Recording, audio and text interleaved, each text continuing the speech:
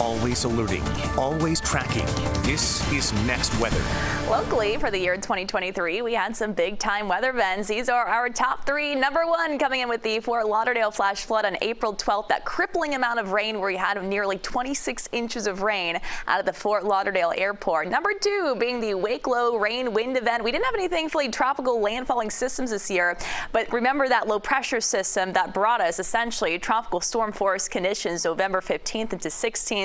The rain, the wind is what we saw across South Florida those days. And also number three, we've got Miami's warmest year on record. Yes, every single month for the year 2023, Miami was above average in terms of warmth, including this month. But we have begun to see things cool down a little bit. We're running about two and a half degrees above average uh, from that 30-year average, making for the warmest year on record. So it's good to see that we're kind of seeing a change of pace in the month of December. We're waking up to this chilly start. We've had some cooler days, more below average days and above average days. In fact, so far for the month of December, with today being the last day, also will be marking another cooler than average afternoon. 50s to start, clear sky and sunshine, plenty of blue sky today. We're saying goodbye to the cloud cover that we had yesterday. Clear sky will continue for those firework displays. Any New Year's Eve plans? It's going to be chilly and make sure you have that jacket. We fall into the 50s by about midnight as we ring in the new year. The dry, cooler conditions, they stick around even as we into tomorrow to kick off 2024 and into Tuesday Tuesday and Wednesday. We'll actually be tracking a weak front passing through during Tuesday.